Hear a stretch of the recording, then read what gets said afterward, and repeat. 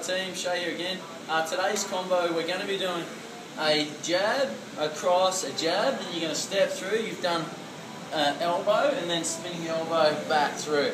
So the main things you want to work on, even just to start, is step through with your elbow. I want you to tuck the back of your hand towards your chest so that we're hitting with the blade of the elbow up here.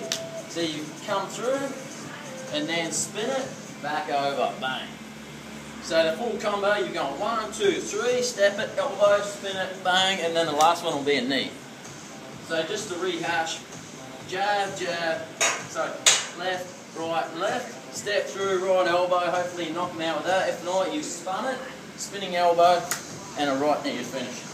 So you're going one, two, three, spin, boom, and a knee to finish. So we're going to do it on Brucey now. So I've gone jab, cross, jab, step it through, elbow, spin it. If I hit and it sort of throws me off, I can come back through for that knee.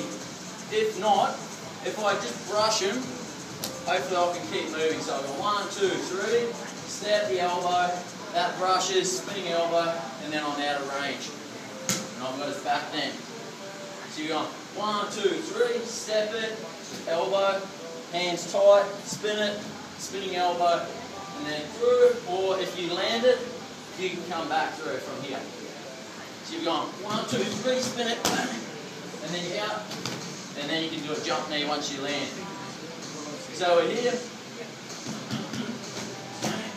out, and your knee. If you go through, you can go from here.